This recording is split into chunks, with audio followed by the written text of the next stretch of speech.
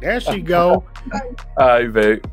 I was on I was on my tablet, then I went to my phone, then I went to my tablet. I was like, oh So you good now? She's like, can I'm we good just now. Zoom? You good now? That's what's up. Get, well, guess what? Guess what? Guess what? We are officially recording. How about that? We? Okay. Are you gonna Yeah. keep all the bloopers? We keeping all the bloopers. we keeping all the bloopers, man. You know what I'm saying? Yo, yo, Day Twan, yo, Day Twan, man. We got yo, that's what going on. man ADZ. Yo, Day, yo, Day, we got a special guest in the building right now. we got Oh, a family in the building right now, brother. Right foot, King Crown Jewels. We have the most beautiful, Come on now. the the extra sexy. Come on, put keep, put it on there. Put it on there. Do Pour you, it all do, on there. do you see the outfit? Do you see the you see the hoop? Do you see the hoops? You see that? You see that around the you see that around the way for like, you know what I'm saying? Yo, D Wood, say what up to everybody. Hello, everybody. How D doing? Woods, D That's. Woods. Oh my goodness, Yo, we saw that comment that you you first it was I think it was a comment or was it a post? It was a post, It right? was a post. It was a It was a post. Oh, when I, I Yeah. yeah, I copied y'all post with all of the covers. Right. Wow. Yeah, so I was like, oh, you know what? I'm gonna post that for um WCW Women Mhm. Crush Wednesday. Because a lot of people don't a lot of people don't know the, um the story behind the cover and then the spread before. So that's why I was like, the real one's gonna know the first spread, and Right. then you know, there's some like DK fans like, well, I remember that cover from the um the Rise and Fall episode, the Rise and Fall of Danity Kane episode, and because they really pitted me as like I did that shit to to them. undermine the group, and I'm like, uh-uh, it was these two motherfuckers right here. That's right. That's right. You know what? Let's speak Yo. on it because me and you was in the comments a few weeks ago talking about that. For all of y'all who don't re- remember or who, who may have missed it, back in the day, Yep. you know, young young D Woods right here was a part of an amazing reality reality show experience called Making the Band. Yep. Right. So she was she made the band. It was a group called Danity Kane. Went on to did you know they went on to do very well. I ain't gonna lie, I was frustrated as a viewer watching this show because I'm up here like, well, yeah, why they always giving D Woods a hard time? You know what I'm saying? As Matt. far as I'm concerned, she the flyest one in the whole group. Why they like messing with her? yo, it, it, it had to be it had to be something for you during that time. Just like first, you got to learn everything that comes along with being in a group, but then you also have to learn how to control yourself as well as like emotions and things of that nature. In What front of the like? world. Yeah, what was it like just being in the group? Well, um, it's funny. Um, this weekend I watched um this is like a 10 it's gonna make sense. The story is gonna make sense. Okay, so I was watching um the Netflix documentary for Debbie Allen's um Oh dance yeah, school, Right. uh, Debbie The Allen one- Dance Academy. Yes, yes, yes, yes, yes. and it was just taking me back because uh, there was some stories you know they had little, little feature stories on some of her dancers and then of course debbie allen herself on how the the the struggle for black dancers black bodies in this eurocentric beauty standard all over the world especially in dance Mm. but um like the girls were t- just talking about how they were told they were never going to make it they should just think of something else to do you're never going to be a dancer and they told that to um debbie allen herself you know in, in her you know coming up days and of course as we know she proved them all wrong and, if absolutely. you, and, and if you look at her in her in her early 20s you're like what the hell are they talking about her legs Right. her body her whatever like she i was like yo debbie was she was it. snatched. was Okay, and her legs was kicking behind her head. On the shoulders. Word up. So I um I went through a similar experience coming up as a young dancer in my um I went to a performing arts high school in Atlanta, Georgia, Tri Cities High School. Ah, Tri Hey. Cities. hey, Hold on. So that, that's the same one that Kandi, number one, Kandi Burruss. Yes, our alumni is so deep. You know what I'm saying? We got Kandi. Well, all of Xscape went all to of Xscape, right? Yes. Um, OutKast, um, Mhm. producer Bangladesh, Kenan Thompson, uh, just just we, the Broadway performers. Just like we got, we deep got- off in, Yo, in these that's streets. crazy. That's crazy. and me. I went. Andy Woods. Andy Woods. That's what. Take that, and take so I just remember my dance instructor and I and I had to like give it up to her after after watching this Debbie Allen special. I was like, and this woman, Dawn Axum, who was my mentor, you know, she got on us and we had an audition for for um for Alvin Ailey. They did a workshop with Oh, us. Mm. oh. And there was something said in the workshop before the audition about, you know, black girls, if y'all got big thighs, if y'all got too much booty, you know, you might as well just like hang it up. And I was look, I looked down at myself, I was like, Uh, well, I guess, and I was in, I was in, I was in ninth grade. I didn't show up to the audition the next day, and And then on the um on that Monday, my dance instructor Dawn Axum pulled me aside and cussed me Mm. out so cold, mm, but out of love, because she was like, "Don't you ever, mm. Don't- ever count yourself out because of what somebody else says to you." Mm. She was like, so much. And she's she's thick too, you know what I'm saying? She's like, and her legs go past her head, and she's like, look at me, look at you. And she really like drove into it because I mean, the majority of her students, and this is a you know, basically an all black school, all black high Right. school, South Side, East Point, um, Atlanta, Georgia. So that's all you have in there are girls who are built like brick houses, you know what I'm saying? We, and of course, like at that time, it just wasn't it wasn't the popular thing, you Mm. know. And um, so the next the next uh, round, the next summer, I auditioned. I got in. I got a full scholarship to the um to the summer and dance pro summer intensive dance program.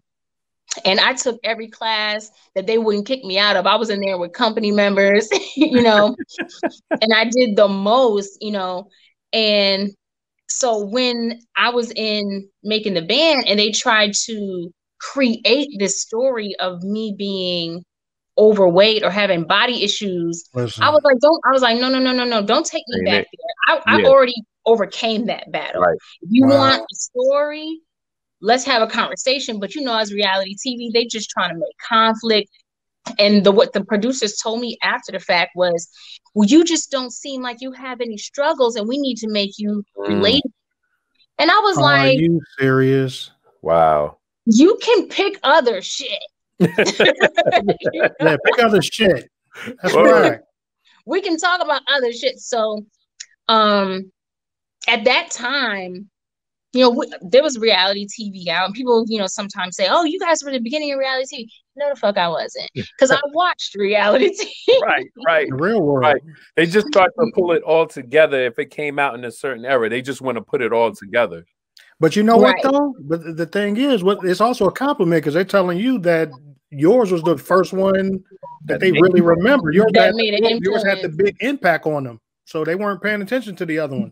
Yeah, but I'd be like, "Don't age me. I am not that old. I am not at the beginning of That's, reality that's a being kind in uh, in, in uh, Kevin Powell, you know, the, the real world. Yeah, like Yeah, that's, yeah, that's MTV way back then. And it's so funny because I was really little and I watched the real world and I was like, oh, that would be so cool if I could do something like that. But they probably won't even be doing it by the time I'm old enough. Oh God, Wow. Look at that. right? Look Just like hip hop was a fad. Just ha- just like hip hop was a fad, right? I spoke too soon. Oh, so, you know, because I had, you know, grown up watching people like you said, like Kevin Powell, like Heather B, like um, you know, the the there was always like a token black person.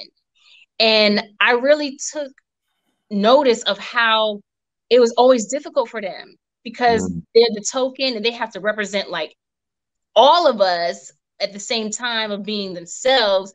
And so I was like, I gotta think like playing chess now that I'm on this show. You know what I Mm. mean? So I was like, I can't, you know, just show my I'm really like calculating and people might say, oh, you look so serious on the show when they meet me in person. They're like oh you're real goofy. Like you're funny. You're this. But you always look so serious. Like, i was i was always like thinking like so intensely like how is this gonna look? If i right. say this how they gonna play it against me? Um this that and the other. So what i did was with with the two dollars and fifty cents that they was paying me you know i was i hired my own publicist and i think that's who introduced me to her name is Christina Parker. Do y'all know Christina? I remember. Parker? I remember Christina Parker. Hold on, hold on. So hold on. So what were you insinuating? That's who probably what? That's who introduced me to you all to Kings. That's who set mm-hmm. up. Let me, let me hold on. Now, now, now, let me explain. Let let us go ahead and and and, and, and put you explain. Let me hit reverse on the camera so we can get a different angle. Hold on, A. Before before you explain that, before you explain okay, that, okay, okay. Remember, during this time, this is like 08, 7, 07 going into 08. Remember, mm-hmm. I jumped to Double XL. I was still edit editorial director, so I would get like the blue lines, mm-hmm. and everybody would keep me up to date. And I remember Jermaine, I think Jermaine. That's who she Jermaine introduced Hall. me to. Exactly. Yes. Jermaine Hall. Jermaine. Yep. So Jermaine, I think, talked to Chris to yeah, I believe he talked to her originally, and then hey, you pick up. So I what I'm how I'm gonna pick up, and, and I think ultimately it got passed. Was was Cara a part of that? Cara Donato. Yeah. Yeah, because y'all was on Atlantic, right? Well, Christine, I guess going back, Christina and Jermaine set up the first spread. I wasn't I wasn't on the cover. I was in the magazine. In the magazine. Yep. and it was I just the interviews. Spread. I did both interviews. Yeah, you did that interview. So that was the one that was like at the Chelsea hotel with the with the orange um right. curtains and right. everything. Curtains. Yeah. Right. And my I brought my boyfriend to the set. He was fuck, he was mad. He was jealous. He was like, I'm gonna I'm coming with you. I was like, I ain't like I'm gonna be doing no back shots or nothing. He was like, I'm gonna be here, I'm gonna be right there. And I was like, yep. okay, you be there right there. But the whole point was like, let's put you in front of an audience that is actually gonna appreciate your mm-hmm. body type. Mm-hmm. And also being a token in a pop mainstream group on a pop mainstream um, you know, network. My my thinking was she never said this, but my thing was I was like, I always gotta make an effort and reach back to my community because when this is over, because the expiration date is any time dealing with the guy that you know was in charge. You know what I'm saying? I was like, right, right. any moment, whenever. And I was like, whenever it's over, I gotta make sure the homies know that I'm one of them because I can't then try to become mm. them. Because they, they're gonna be like, nah, you we run around from the white girls, like you know. Right, so right, right. That's how I was always like, and yep, together like that. But go ahead with y'all, so because I never understood why y'all went in, in and hollered at the label. Y'all should have just came straight to me. We so that so that was that was two different times. That was, that two, was different, two different times. times. That was two different times. And so mm-hmm. you know, just just to give you some perspective, right? Just to give you some perspective. Now, there may have been an introduction to this person to that person you know okay that that may have existed but you have to understand from our perspective like you were always on the radar. Like you was always on the radar. You was always like like when, when you look at that whole danity kane experience like like d woods was like the one. Like that's like okay that's why it was such a pleasure so it's such a pleasure. I mean, doing the first shoot, I mean, that was dope. It's like, okay, cool, we got you in. You know, um, you know, I got the call because you know I get called for stuff like that. You know what I'm saying? We, when we got when we, you know what I'm saying? When it's when it's cream of the crop, we need aid. We call when it's, when it's the cream of the crop. You know what I'm saying? No it's like okay, let me go ahead. So we went ahead did that first joint, but it was so dope knowing going into the cover when we was gonna come back, and it was just like, okay, we're gonna go ahead and do the Danity Kane cover, but but we not just gonna do the cover with the whole group. We're gonna do the cover. We're gonna do a split cover. We're gonna do the cover with the whole group, and we're gonna do a whole other cover with only D Woods. with only D Woods. You know, because that's how it should be. You know, and I'm pretty sure, and, and, and we we've had that, and, and so you tell us I mean, obviously, you had nothing to do with that. It wasn't like you know you pulling to the side or you campaigning, you know what I'm saying, or you doing something inappropriate to go ahead and ensure that you get your own cover. It had nothing to do with that. You know, we just always thought you was dope. You know, you was you was you was like out of out of everybody. You know, you were, uh, you know, like like our high. y'all you were the top draft pick. And Dawn, so, was, let's let's remember Dawn. Dawn was cool too. Like she, she oh, Dawn was dope. Dawn was dope. dope. She was dope. I just I know for sure that you had gotten letters. You had gotten people to to write in about you. So Oh yeah, y'all told me that. you know what I mean? So that that also heightens like the anticipation of being able to take you from just that inside shot to you getting your own as well. Um, but I, hate, I, personally hated the fact I just it just came across like you was getting bullied, and I thought that was whack. Mm. You know, so I thought that it was appropriate, you know, for you to be able to come on home. You know, it's like okay, you know, oh, they hold on, they, they don't appreciate you. You know what I'm saying? Mm-hmm. They don't appreciate, it's like no, no, no, come come on home, come on home. You know what I'm saying? Where where, you know, where where everybody's you know kind of looking at everybody else kind of sideways, but they looking at D like, hold on a second. You know, what I'm saying? she, she's a queen in this kingdom. Right. Stop playing. And and how how did that work with the dynamic of everything once it came once it came or, out, or but even beforehand, like at the shoot and everything? Oh my gosh. Uh the, the shoot was very difficult, I will say, because um if you if you ever go back and look at any pictures, there's very few pictures of Danity Kane where I'm standing in the center. I'm usually on the outside on either side. And that's because there will always be this competition, this elbowing each other out wow. to get into the center. And I just would stand back and let them get all that in, and then I would just come and take my place. Wow. Wow. Where am I going with you in the center? yeah. I mean, but I think that is because the um photographer yeah, it was because it was y'all were placing who you wanted where you wanted us. And if you and I remember we had an interview, it's so funny. We had an interview with um Wendy Williams and um and Charlemagne. Right. And Wendy was like, Why are you looking? She was, you know, she was making a comment. She was joking. She was like, You look like you ready to fight. You look like you ready to this, this, this. And I don't know. I was like, Oh, you know, they just were telling us to look fierce, but really it was because I was getting elbowed. I was getting pushed. I was getting all kind of literally, like, literally literally, elbowed. Literally, literally, like. yeah, there you go. There you go. Look at that thigh meat. That's my, that's my, that's my family, my family heirloom right there. Absolutely. Absolutely. Know, people used to say, you know, they was like, you must be one of them woodget girls wow. And like, how do you know? I'm like, because I can tell by your thighs. Everybody in your family got them thighs. So. everybody, um, yeah, everybody in my family on both sides, on my mother's side and my father's side, there wasn't no way that I was not gonna get them. Wow. But, but yeah, it was it was a very uncomfortable photo shoot just for that. But you know, I was excited to be there because of the relationship and I wanted it to be I wanted to have good pictures. I wanted it to be like the the shoot before we had these amazing amazing pictures and amazing response and everything. And the rest of the group was just and especially at that time too, we were not yeah, it was it was a bad time. So mm, wow. um when because at, at that time we had um Jay Irvin as our manager. And um funny funny story like the boyfriend that was so jealous at the first shoot is the one who actually introduced me to Jay.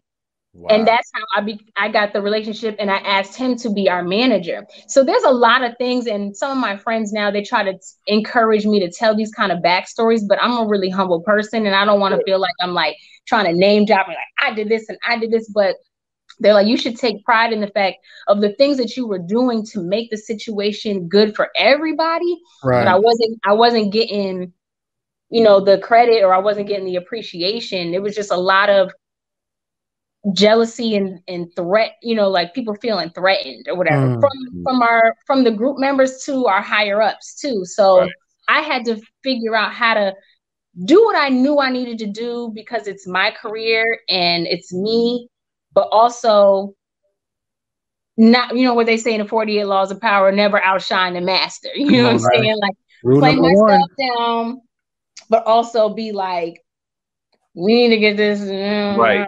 You know, yeah. So Jay Irvin called me and he was just like, Oh, so I can't remember his words exactly, but I remember his tone. He was just kind of like, so you just you just gonna get a whole cover by yourself or I was like, what do you what do you mean? He was like, they give you a, your own cover. And I was like, word? And I was like, they gave everybody their own cover? And he was like, no, just right, right. like, like oh, oh, oh there you go, there you go, yeah, yeah. As we should. I was like, cover though. That's a dope cover. Come on, come it on. Is. Come on and now. when I when I posted it, so many people was like, I still got my issue. I still got that copy. I still one of my homeboys, he's so proud. He's like, he's like a big brother, but you know, the big brother that if I let him hit it, he wouldn't turn it down. He's like one of them. Oh, oh, what? Oh, he's like, I didn't know you felt that way, but come on. Yo, but, there's, gonna, um, there's, gonna, be a lot of people. A lot of people in that part gonna crack up because exactly mad. With, that's like, yo, ain't that like Sean? Ain't that like Rob? Like, but he, he still has his cover and like you know I signed it and whatever. He he was like because I'm in LA right now and you know he was one of the first people I was like I'm in LA let's link up you know because we can't see a lot of people but right right. because it's COVID times. That's right and as soon as I went over and he you know he has his his girl and everything was there he was like wait a minute D hold up he went wherever in his bookshelf he came back with the with the issue. He was like, I still got it. It's in mint condition. I was like, you ain't wow. even laminated. It's still good. You ain't even laminated. Yo, yeah. What was the reaction like after? Like when when it actually dropped, like with family, fans, all that. What was the reaction? Bandmates, um, bandmates. What was that like? You got to tell us about the bandmates. Yeah. Yeah, there was a little, there was a little, you know, ruffling of feathers. I mean, they didn't say it to my face, but I know they said it in other rooms or whatever. But um, my thing was like, well, look, if this was Maxim magazine, I would expect they put Aubrey on the cover. Mm-hmm. If this was Latina XYZ, whatever, I would expect they put Andrea on the cover, you know? Yeah. So you know, this is Kane. yeah, right. it's, it's, it's, they know they they know their audience. Right. You know. Right. Yo. But, um, you know, I because I'm usually a tomboy and I'm I'm very like I wear I always look like I'm getting ready to go to like a hip hop dance class every everywhere I go or whatever. and so there was a lot of attention that I was not used to getting. I was like, wow, wow, you know. And then I'm also like the baby sister. I'm always like somebody's like little sister or whatever. So it was kind of like, oh, okay, you because y'all know my first name is Juanita. Like, oh, Nita grew up. Oh, mm-hmm. that's right. You know? Um, but yeah, so it, it was it was interesting. There was an interesting like shift of like, wow, like I'm I'm a I'm a woman now. Oh, there you go. Was it like the high school homies and and like the boyfriends, the exes, and all that? Did they all come out? Yep, they sure did. They sure did. yep. It was on that. Yo, I always loved you. They was on that boat. I mean, it was like you know, right, right, I right. Wanting to see you win. You know what I'm saying? It's, it's good to see you. know, I always knew you was a star. Now the whole world knows. You know those kind of things, like the future text. You know what I'm saying? When you like tell your mom I said hey, like all that. Like, I know this verses isn't about me versus you. Like where that come from? Like where that where all this come from? Yo, yeah. Yo, hey, what was it like interviewing her though? So so I'm I'm real I'm real I'm real so I'm real curious, you know, because we got we got the uh we got we got the triple uh we got the trifecta going on, right? Okay. You know, performing arts school, you know what I'm saying? Talking about Debbie Allen, you know, reminds us of the fame days. Uh, you know, you let us know how bona fide you are as a dancer. Uh, we were introduced to you as a dope singer, you know, but now these days you're doing so much acting. It was was that always something that was on the menu as well? Yes, actually, um uh upon entering making the band, I was also just graduating NYU, and I was a act. I came in as an acting major at NYU, but I actually graduated out of the individualized study program, the Gallatin program, where you you create your own curriculum. Wow. So I um you know, I came in as a as an acting major, but I've been doing theater since I was five years old. My first professional theater experience was playing the little girl Raynell in August Wilson's Fences. Oh wow! And this is in this is in New England, where where I'm from, in Springfield, Massachusetts. So I've been doing theater. I've been doing dance. You know, modern contemporary, West African tap, ballet, um, musical theater, jazz. Um, and then really um, got into got into singing. Well, I was always singing, but the musical theater training actually I got voice, you know, voice training. But you know, just singing in the house, singing in church, singing with friends or whatever, and getting into the studio and stuff when I was um when I was 14 because at Tri Cities there were so many like people getting record deals and um one of the one of the top songwriters he goes by the name of Pooh Bear. He's he's like my big brother, and he actually wrote he wrote on the first Danity Kane album. But he brought me to the studio for the first time because he was a senior at Tri Cities when I came in, and he saw these little hip hop. That's when I first moved from Massachusetts to Atlanta. He saw these little hip hop girls walking around looking like you know TLC, you know, uh, disciples, and he was like, "Yo, me and my group, we're shooting a video." So I came, I went to the studio from there. I was writing in the studio. So I've been doing this like for real, for real. My it's been my whole life. Yo, yeah. The backstory is crazy for you to get down like that. Now, when you say that he saw like these girls, was it you, sisters? Like what? Yeah. Me and my sister Shanell, you know Shanell from um Lil Wayne's Young um, Money. Young, Young Money. Money. So yeah, Shanell's, you know, she was doing the same things as me, but we just kind of went a little bit different because after a while we sisters it's like, all right, you I know, want to do this. I want to do it my way. You do right. I want my own thing, you know.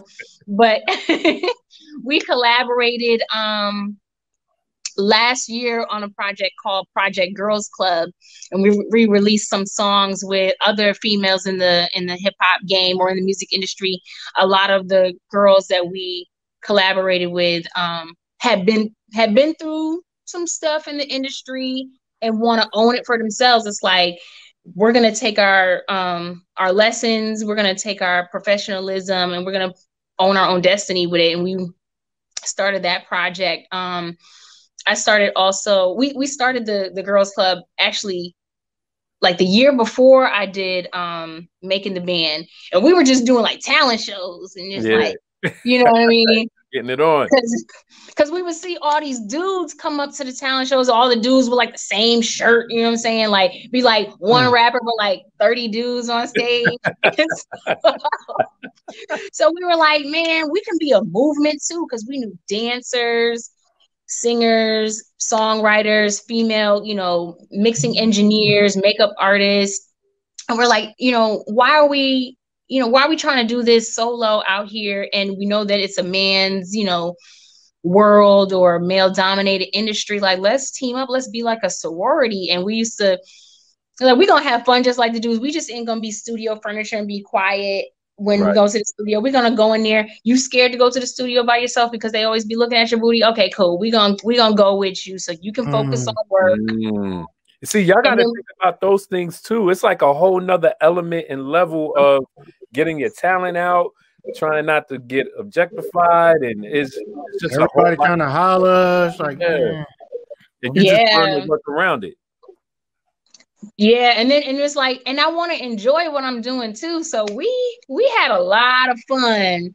There's a lot of pictures of us standing on top of bars and speakers and right, you know, right female DJs that we know. We're like, yeah, play our record, break this, you know, break the record for us, you know. So, you know, and just really taking and owning the space. Like we, you know, being based in Atlanta, we would go into the strip clubs too. We'd befriend the strippers and be like, yeah, dance to my song. You know what I'm saying? Magic City Nights. Magic City, Onyx, uh, Blue, Blue Flame. Flame. There you go. which, which one was your favorite though? Um, I'm gonna have to really. Blue Flame has the best wings See? to me, but Onyx had like the best like whole meal. You know what I mm. mean? Like you can get salmon, you can get a steak, but if you really want like a really good, and it's and everybody says if you go to Cheetahs in Atlanta, the strippers are trash, but the food is a one, and people don't really wow. go there for dancing. People don't understand that food mission when you go over there. That'll wow. be the deciding factor. We're like, uh, let's get the wings. And um, actually, shout out to one of one of my really close friends. Her name is um, well, she goes by Firestarter, but she is the founder of Vertical Joe's, and she started doing pole classes and ascended into stardom because now her recent her most recent work is she did all the stunt coordination and pole consulting work on Starz Network's um, P Valley. Oh, so she's part of the girls club too. Yeah. Yo, the careers take off into these different ways that you would never even imagine. Right. Imagine that. Like I, I, I'm pretty sure that wasn't like the super goal until the opportunity opens up and then it's like now she could do that in any kind of setting that's crazy right because she you know she was one of our dancers and um she also graduated from tri-city so it was just like all right how do i just how do i own this and, and make this like a like i'm not at the, at the whims of other people's decisions or like you know being used and and discarded. And it's like, shoot, I'm about to make myself uh you know, I'm like a franchise out here. The the strip club actually come to me. Well, not mm. me, but her. If I was if I was her talking, they actually the strip club owners would come to her to train their dancers to oh, do wow. old tricks and so and then you know she just has like uh, her her I'm I really champion her because like she really took something that could have just uh, objectified her and put her like in a category and something shameful or whatever. And she's like, nope. She's training, you know, women with disposable income, like doctors, lawyers who just want to mm. spice up their marriage or just want mm. something fun and flirty to keep them in shape because it is a lot of work. You know, that's some work. That is some work. That is some serious work mm-hmm. Absolutely is. But the, the, cool thing is, she ultimately put herself in a position where she was taking c- control of her own destiny. Yeah, you know, right. which is which is which is me trying to you know transition because I, I would love for you to just tell people for people who don't understand, right? You know what happened to D Woods once making the band was over because a lot of people you know, who do who do reality show. We don't hear from them, you know, much after reality. But you are one that I know for sure just by watching and following.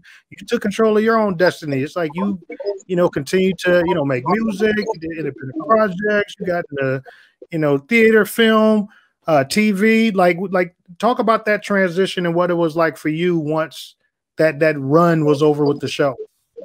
Well, um, being that I kind of saw the writing on the wall for a long time. I just was like okay let me make let me make relationships with people you know um and i know you've heard this like but befriend you know just don't go try to befriend like the person in the top position but what's up with their assistant? What's up with the intern? Because they're gonna rise in the yeah. ranks and they're, they're gonna remember you. They're gonna want to see you win or putting you on is going to help put them on. So, you know, everybody's, you know, one hand washes the other, whatever. So I did a lot of that in the last months of the group. And no, I didn't know the group was ending, but I, you know, I just had to use my sixth sense, you know, and um, I just started recording music and just, you know, trying to find my voice again because being in a group and trying to blend and not really in, in trying to make it work and it was kind of like a marriage mm. when you forget what you want and you're trying to make everybody happy and so i had to remind myself what makes what's my expression how do how would i sing if somebody wasn't telling me to blend with somebody else's voice or what would i write as a lyric if i didn't have to compromise making someone else happy, you know. So um I did a lot of that and almost immediately I just started, you know, calling on relationships and just doing stuff, not with like a goal, but I just started doing stuff. I just started shooting videos. I just started doing shows and you know, just trying to get back to like enjoying doing the work because I really wasn't enjoying it. And you know, mm. when you're doing something that you love and you stop loving it, you really have to like evaluate what is going on. Like i wasn't in i wasn't enjoying performing on stage. I wasn't enjoying being in rehearsal. And i've been on stage and in rehearsal since i was three years old. So i was wow. like okay this is something gotta change. So um yeah i just started doing stuff. The first um situation that i got myself into and i wasn't trying to be no ceo i wasn't like hey i'm the boss now. But you know a gentleman came to me and was like look did you ever you ever think about um uh, Fontana Music, Fontana Universal Music, and I was like, "Who was that?" You know what I'm saying? right. so, and they're like, "Well," and he just kind of walked me through the process. Like, so I got a distribution deal through them. I established Wood Grain Entertainment, Wood Grain Entertainment. Yes, ma'am. Dope name. That's Dope right. Name. That's right.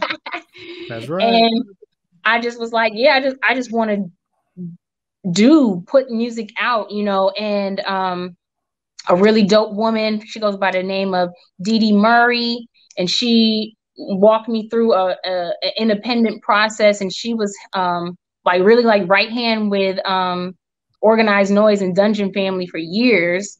So she, Is she related to Ray Murray from yes. Dungeon Family? yes, they go. they were married one, at one Oh, point. okay, okay, okay, okay, okay. So Dee Dee really like, you know, she really ushered me she basically showed me how to make this a business for myself make money off of the music because i wasn't making no money off of my music mm. so hmm. getting getting the right um you know associations and memberships with grammy academy with sound exchange with figuring right. out you know digital distribution and all these different you know marketing tools that you can do and so i was like okay i am a label right now, you know. Right. But did um, you carry did you carry over some of the things that you learned from Diddy? I'm gonna say this, and I don't mean this to be um I don't mean this to be shady or anything. I didn't learn anything from him. He didn't teach me anything because he wasn't in the room with us mm. to teach us anything other than you know, it was a very oppressive and a very intimidating, you know, um, controlling like thing. So it was it was like I didn't learn anything except what I learned about myself being in a high pressure, um, highly visible, uh, whatever, a lot of tension atmosphere. How I can mm. still function in a very un pleasant atmosphere and still right. be my be my best with what I had. It wasn't the best I could do. It was just the best that could be done. Wow. That, wow. So that's why I, I kind of looked at things of like, if y'all liked me in Danity Kane, you gonna love, you gonna love D Woods without the shackles, without having, you know, that's why my, my project that I've been kind of like a saga project called My Favorite Color mm. because um I was in black and white for so long. I was analog, you know what I'm saying? you know what I'm saying? Mm. Now, can, now you're gonna see all the colors. So I did volume one. It was like, you know, an EP.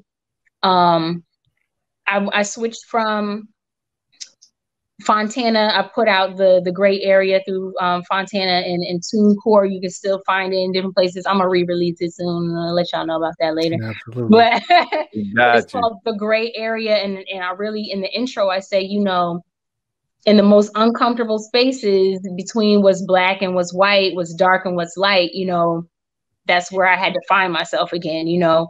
Mm. And then the next project, my favorite color goes from three different colors that it's like, yeah, you thought you knew who you were when you were this one color, but that was just one phase of your life. And then you went through another color and it's like, oh, that's my favorite color now because blue represents heartache, blue represents sorrow. And that that's what I'm feeling right now. That's what I'm learning about right now. And then the other colors and the other colors. So y'all y'all see a lot of colors with I love it. I love it. I'm gonna tell you. So I remember, you know, so initially seeing you on the show, definitely was feeling your energy. Uh, those those two uh, King interviews that we did, you know, it heightened it, and I was like, man, you know, just real dope, real cool person. You know, I'm like, man, she's really really cool. You know, definitely want to continue to see her win. Uh, another thing that I really appreciate in terms of like our journeys colliding again, I moved to Atlanta from LA in 2009 and I was working with Mo'Nique and was working on the Mo'Nique show. Right? So at some point in time, you know, young D Woods, you know, she's on the show. You know, so I'm up here like, oh, this is like so dope to go ahead and see you doing your independent thing. And then it's like it was great to see you, you know, uh, uh, you embrace that and, and and really occupy that space and say like, you know what, I'm gonna take control of my own destiny. I'm gonna still win. But what was what what made me such even bigger, bigger, bigger, bigger, bigger D Woods fan is I worked on several different uh, BET shows. I remember when I was working on the game, and I look up I see like you know just a bunch of you know background talent, different just all different types of people that was you know at the show to be a part of some scene. And I look up and I'm like, man, that's was. you know, it was just so cool for me because at that time I didn't know you know acting was a part of your thing, but it showed me the commitment, the dedication, and to be like, you know what, I'm gonna earn my keep. Right? You know, it's like you know what, this is something that I'm like you obviously were really interested in to and to see like that continued ascension. Um, and you're in LA now, you know, doing a piece. So it's like it's been a constant, constant, constant grind. So, you know, talk about like what that's been like, you know, for you. It's like, okay, you know music, got somebody teaching you the music game. What's it like really getting into the acting game on a on a major level? Yeah, so um, like I said, you know, I started acting when I was really young, but I was doing mostly theater. So um, I'm very comfortable in the theater, but I haven't done as much on screen work. Um, but my, my first actual on screen role was in um, Stomp the Yard. And that was like right at the mm. same time as uh, as the group came together. We didn't have a name yet, but I did Stomp the Yard Will Packer, um, Will Packer. Yeah, he he looked out. He was like, "Yeah, we're gonna make sure we, we find a place for you." The whole scene didn't make it in the movie, but whatever. But you was there. I was you were there. there. That's right. I was in it. right. So, um, and everybody knows over at Morris a, Brown. Yeah, yeah. Everybody knows as an actor, you know, you got to have certain materials. You got to have your headshot. You got to have your reel, and it's hard to get material on camera. So, um, just having little bits and pieces, doing in, independent movies or doing web series things, like, of course, like I want to be in the next, you know, Black Panther. You know what I'm saying? And I think I deserve it. However, I gotta have the evidence i got to have stuff on screen um, that i can capture and put in a reel and people got to know my name and trust in it um, so they'll they'll think oh yeah she was in that group. She's trying to act now. And it's like no hmm. no no baby. I was trying to act when i put down that money to go to that university that i'm still in debt for uh, right now. Right. Right right right. That's, that's the real grind. I feel you. But right. you know I bounced between still, you know, doing theater. Like I, um, this time last year, I was a part of the the revival production of Ntozake Shange's For Color Girls at the Public Theater in New York. And that was a monumental experience because to do off Broadway and to do that piece, like I learned monologues from For Color Girls when I was in high school. Mm. And to actually perform it on the off Broadway stage. We were we were um scheduled to move to Broadway during 2020, but you know, people yeah, coughing and stuff. So, yeah.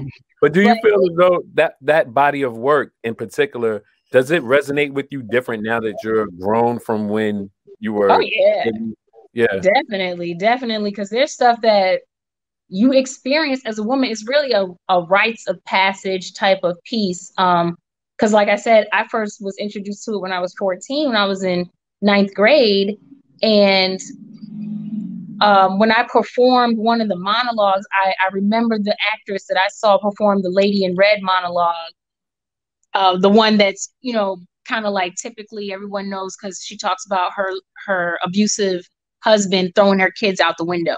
Right. Mm.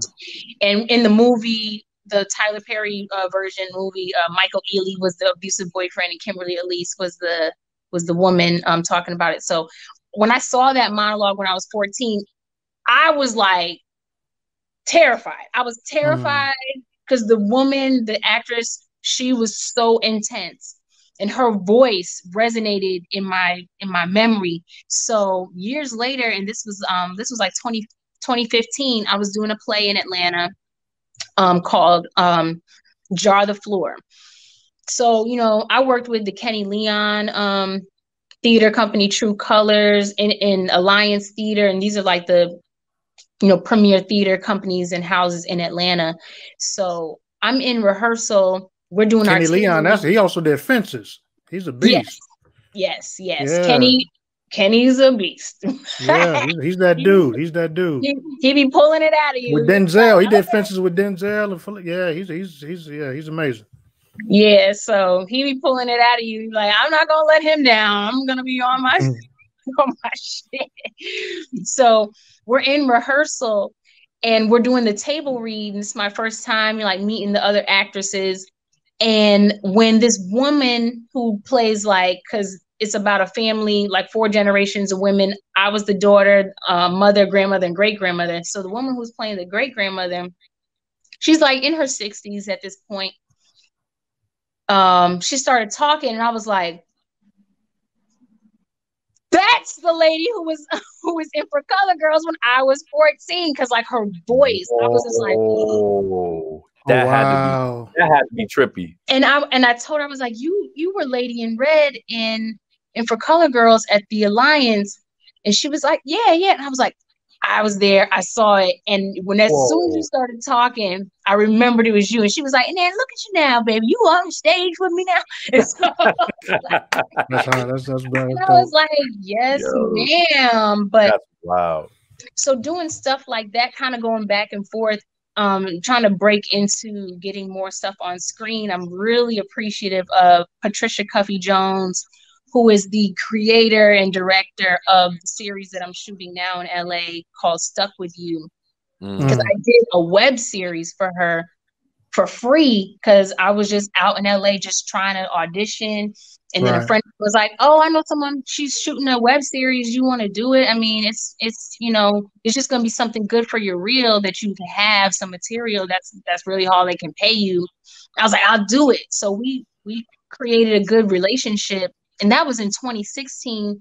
So last, last year, she just hit me up on Instagram, mind you, she was like, D Woods, where are you now? And I was like, well, I'm in New York. And she was like, call me. And I called her. Say, hey, how you doing? Long time no see here. She was like, I have a role for you. Wow. And I was like, really? And she was like, let me know if you're interested. She explained the show a little bit. And she was like, I'm gonna send you a scene. If you can put this on camera, I just gotta convince the network because it's on UMC network and mm. she just she just got picked up and she was like, I know who I want. And she I was like, I just gotta convince the network.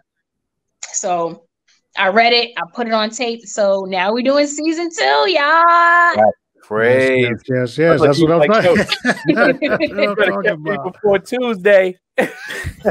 right. That's what's up, though, man. Oh my goodness. So now are you looking for those what what are some of those other kind of shows that you're looking to get into just putting it out there for the world to, to grab onto okay i'm gonna put this out there yep i read this book series during the quarantine lockdown.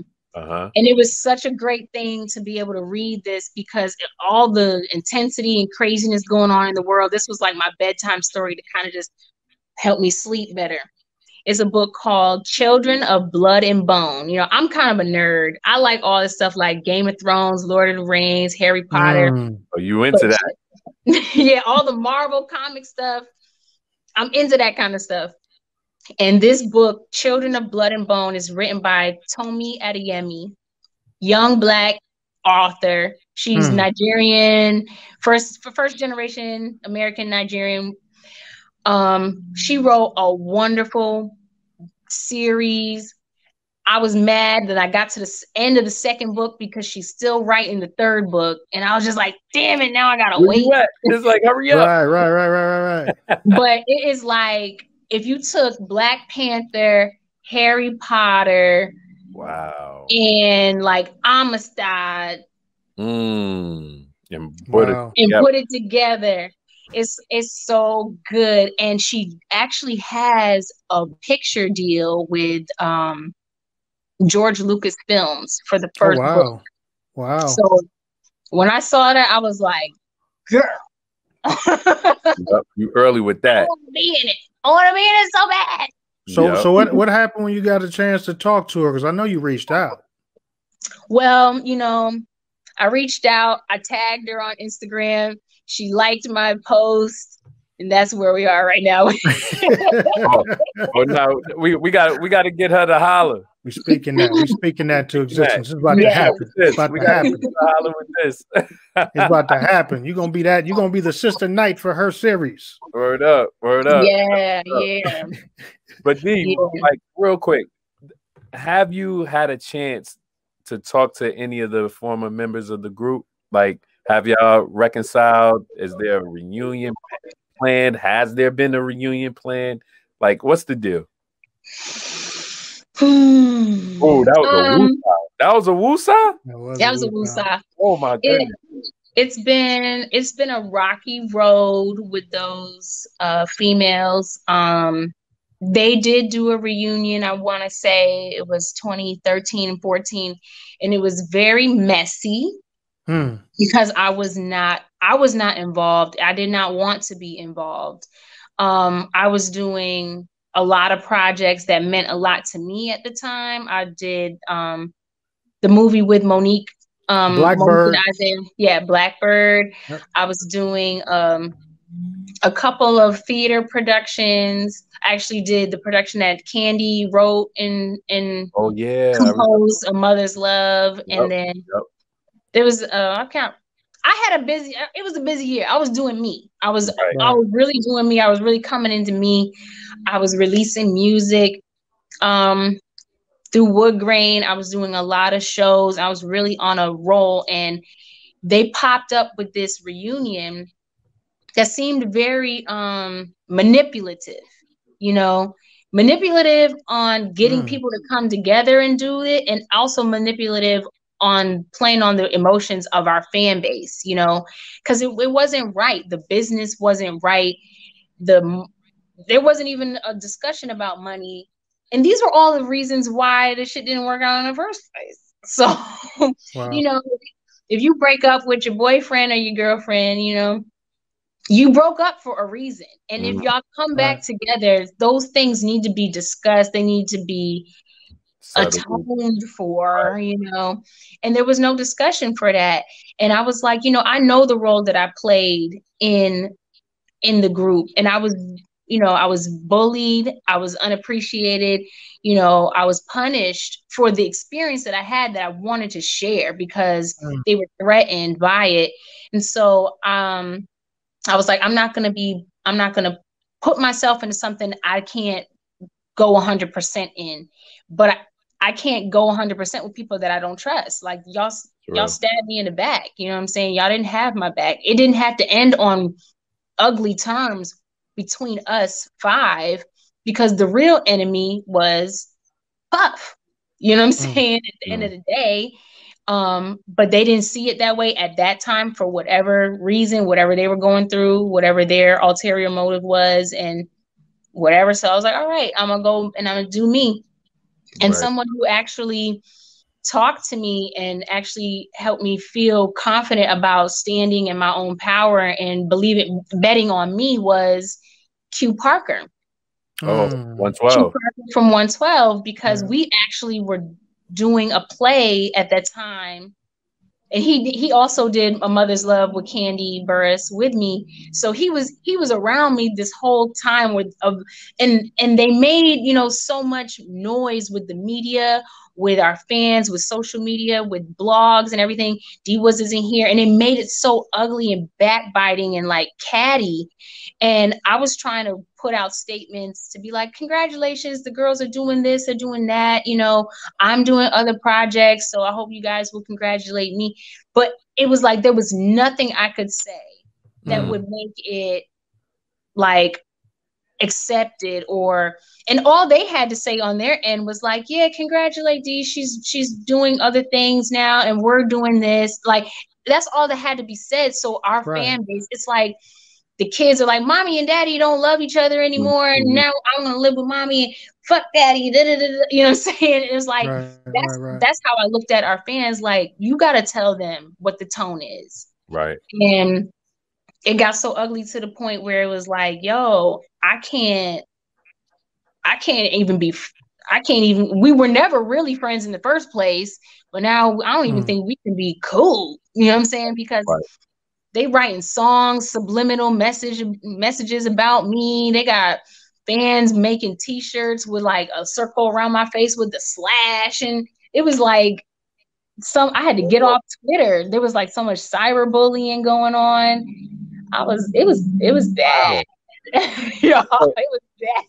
But how did how did how did you like release that energy and deal with that kind of you know onslaught back then? How did you release everything and, and get to this place that you're at now? Um it was, you know, mm, it wasn't easy, you know what I'm saying? Um and I had people around me that kind of helped me focus on things that I did care about. Like I said, Q Parker was like, yo, this is almost identical to me and my group. And he was like, if they can't honor the work that you have done by yourself to carry you from the time that, you know, y'all split up to now and the fan base that you've grown for yourself and the catalog that you've made for yourself and the, you know, things like they don't, if they don't honor that or even acknowledge it, then don't go back to a situation like that, you know. That's um, kind of hard. That's kind of hard too because he's going through that kind of now with 112. Being separated from 112. He's, he's, yeah, he's not with them right now. That's crazy. Well, now you know why. mm. and and you don't you don't see, indeed you don't see that many groups out right now. Like for the last year or two, there's mm-hmm. not that many groups that that especially like black R and B groups, male or female. You don't really see mm-hmm. it. Right. Yeah, I mean, and and I'm not a I'm not a against group type of person. Um, because like I said, like I've been in theater, I've been in groups of people in dance companies, and then you know the the group you know girls club with my sister and our, our other like associates and stuff so it's like i do ensemble work all of the time. And I just know that it has to be the right group of people. It has right. everyone has to understand like why we're doing this. Mm-hmm. And you know, what you have to offer, what you have to offer, everyone has something that should be valued. And if that's not happening, there is going to be that resentment and it's not going to work out. And of course, if you got somebody playing puppet master on the top, pitting people against each other, you know, dividing and conquering, it's never going to work out. You know what I mean? Yeah. It's sad mm. because, you know, people really, people really love our music. And say, it's, yeah. it's, it's kind of painful for me to listen to. Like, I don't even listen to it honestly because, you know, music is kind of like one of the strongest things that bring back memories. And so, right when I hear certain songs, I remember where I was, what I was wearing, yep. what we was about to do. When I hear them songs, the memories that come back to me, I just would rather not. Mm. You know, mm. so are, are there are there like people now that you're listening to that you're feeling? Oh yeah, yeah. Um I'm I'm forever, forever Brandy fan. Like when Brandy and Monica mm. did their verses, like I love Monica, man. but I was like, Brandy is Brandy. um, there's a lot of um, I'm, I'm, listening to a lot of Afrobeat because mm. that's what's happening right now. Yep. so I'm definitely got the the Wizkid and the Burna Boy and people like that. Um, the Tiwa Savage, um, mm. of course, um, you know, Beyonce's uh Black is King. That was a beautiful I was like, that was a beautiful, like visual album. Oh, right, right, right. Visual was crazy. That was nuts. But like like nuts. the newer the newer people that I'm digging, um, shout out to my boy Lucky Daye because Ooh. I know him from back in the day that when he wasn't going by Lucky Daye. I'm not gonna tell you. Oh, you ain't gonna blow him up. that rolling, like I remember when rolling dropped, I was like, I had it on repeat. Roll some more. Oh mm-hmm. my goodness, I don't repeat all day for weeks. I, I love that song. Yeah, I'm really happy for him, and it's funny because bef- right before, right before things really popped off for him, I was I was doing a show. I was doing shows with Teddy Riley's um whole New Jack New Jack Swing experience. No, no technical difficulties though. no. you wasn't in that crew. and see, that's why when he did that, I knew what he was trying to do because Teddy be putting on a show. Yes. Right, right, right, right, right, right. So I was like, I was doing a choreography, you know what I'm saying? Like, ah, ah, ah. that was a fun experience. That was really a real fun experience working with him. And he would bring out everybody, everybody that he's done records with. But like we did a show in LA and I saw a Lucky Daye in the crowd and he was just bopping around ah, Whoa. in the front. I don't know if he was trying to get my attention or what, but I was like, hey. and then when we were in, you know how it is, you do the show and you got to fly right out. So I didn't get to connect with him, but we were just texting. I was like, how's everything going? He's like, it's great. I want you to come to the studio. And I was like, oh, we got a flight right after that. Blew up. Yo, you saw him on Soul Train last night with Babyface? Oh, I missed that part. Oh, I'm gonna have man. to run it back. You know they're gonna play it again. Yeah, they had uh, Jimmy Jam and Terry Lewis again to mm. him, and Babyface was on guitar for him. So, I mean, you have Jimmy Jam and Terry Lewis introducing you, and Babyface on stage with you. Your setup is there. Yeah, I mean, he deserves it. He definitely deserves it. Uh, some of my other friends were in the background. Adam Blackstone and the BBE band. Adam is actually, it's all Adam's fault. Adam is the reason why I even auditioned for making the band. Whoa! The, what, what was he playing last night? He's on bass. He was on bass. All right, cool, cool. Yeah, but you gonna see he he does everybody show. He did Shakira and J Lo's um halftime show. He did Whoa. Justin Timberlake's halftime show. Oh wow! He's done everybody. But when I met Adam, I was at you know I was at NYU, and I don't know what year he was a super duper senior. He kept dropping out and coming back to school, but he was at UArts in Philly.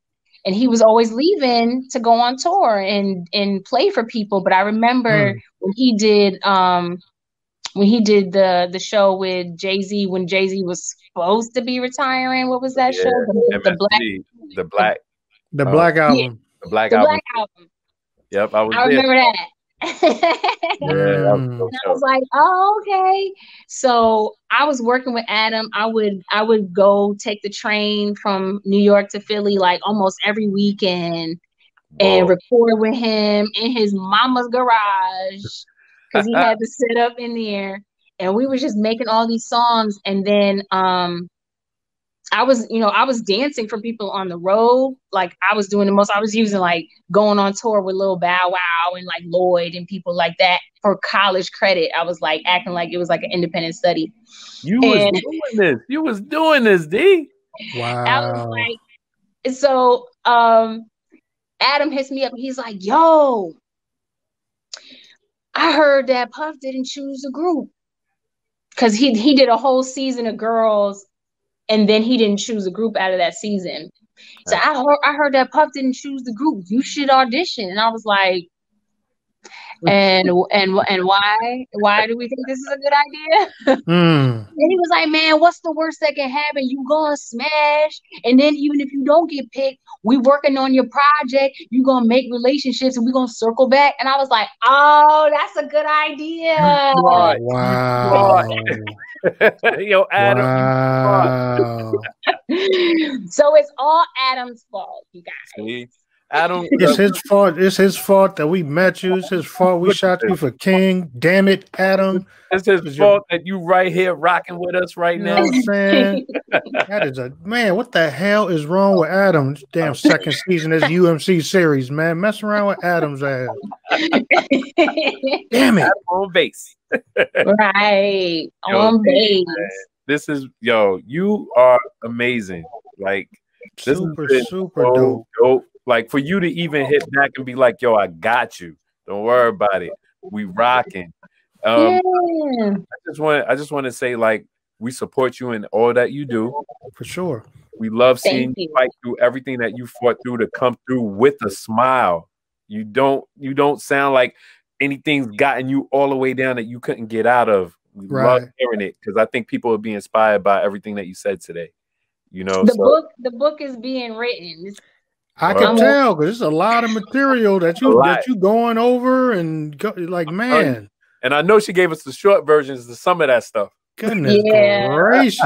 Goodness my mom, gracious. I was just talking to my mother, um, you know, because I'm out, I've been out here by myself um since the beginning of November. Mm-hmm. Um, so I didn't get to do Thanksgiving with my family. We did like Zoom or whatever, Same. but also another part of being out here that has been hard was I actually contracted COVID. Wow. And I had to be by myself and bring myself back to health. Oh my goodness. And so wow. my mother said, You have to write a book about some of the things you've done. And I was like, I'm still doing the stuff that I'm gonna write about, mommy. So yeah, it's still happening. But right. you got, got it. You got to make sure you're putting it down, though. Yikes. Yeah. It's all good now. Everything is straight.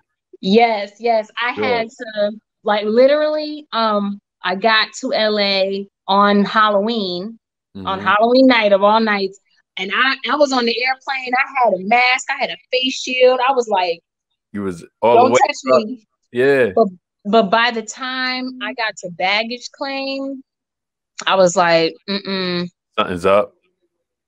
Yeah. Something right. Um, something wow. right. So I believe I believe I was exposed to it in New York.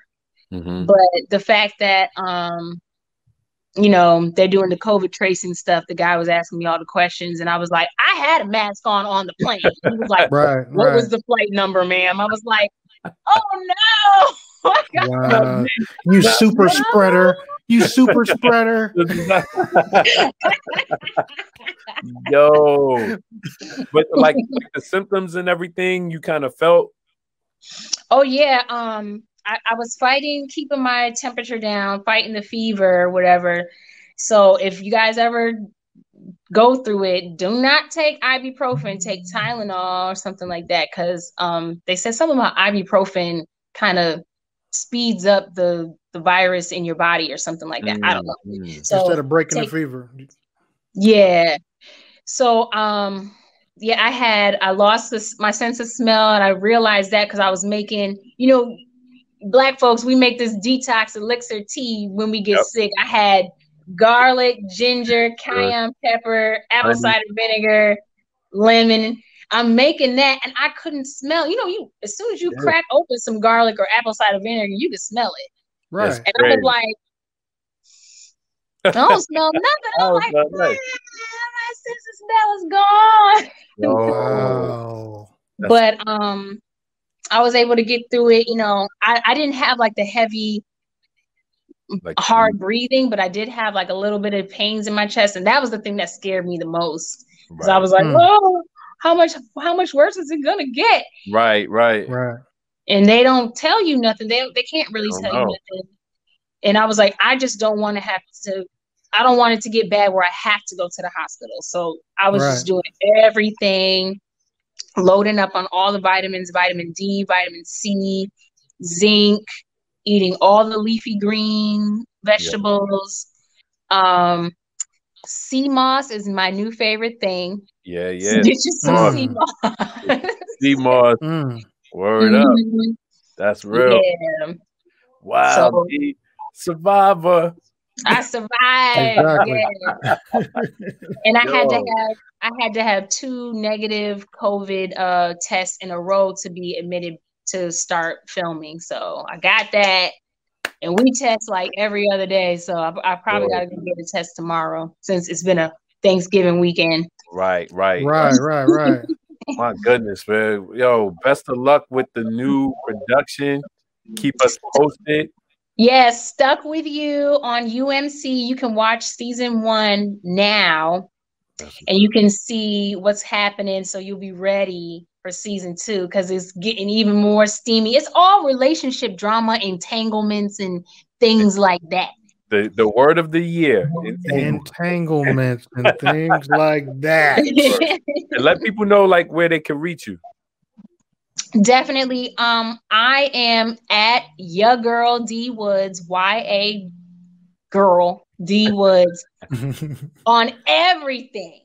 That's on up. Instagram, Facebook, even though I don't really be on Twitter like that, but it's there. Um right. Bigo Live. I'm on Bigo Live. I don't know if y'all know about it. it's a new app. Find me there. My website is miss com. Definitely get my latest single that I dropped during COVID. It's called Call It Quits. Mm. It's quits. a bop. There you go. There you go. Thank you so much, D.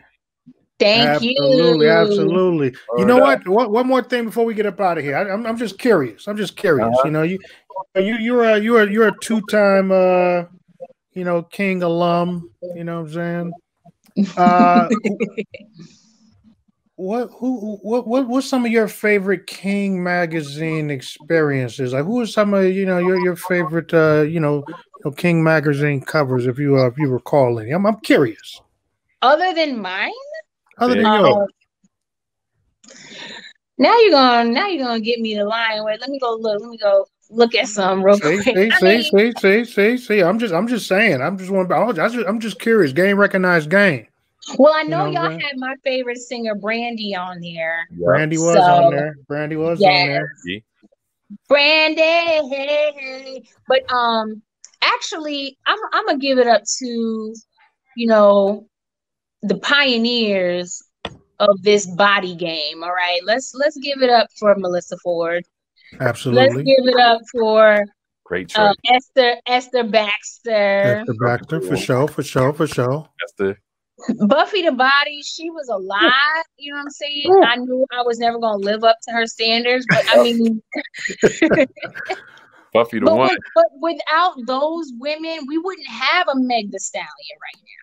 That's real. We wouldn't have, you know, the the kind of appreciation that we have for uh Cardi B and for Nicki Minaj's body and even for like Lizzo's body. You know what I'm saying? Mm. So I give it up to them. Like just seeing them and being like, oh, okay, I'm kind of shaped like them. Okay, I'm gonna do a couple more crunches because I want my stomach to be flat, but I want my booty to be right you too. Doing the body, yada yada yada yada.